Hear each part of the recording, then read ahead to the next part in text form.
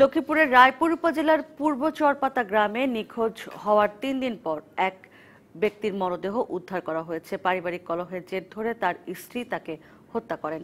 গতকাল নিজ বাড়ির সেপটিক ট্যাঙ্ক তাহেরের থেকে তাহেরের মরদেহ উদ্ধার করা হয়। চব্বিশে জানুয়ারি থেকে তাহের নিখোঁজ ছিলেন বলে জানায় তার পরিবার। এ ঘটনায় সাতাশে ফেব্রুয়ারি তাহেরের বড় ভাই নুরুল ইসলাম থানায় জিডি করেন। পরে তদন্তকারী কর্মকর্তা তাহেরের বাড়িতে গিয়ে তার স্ত্রী রাবেয়াকে আটক করে থানায় নিয়ে জিজ্ঞাসাবাদ করলে তিনি হত্যার ঘটনা স্বীকার করেন। ধরে আমরা তদন্ত করা শুরু করি। এই সন্দেহ থেকে আমরা প্রথমে তার স্ত্রীকে আমরা জিজ্ঞাসাবাদের জন্য আমরা থানায় নিই।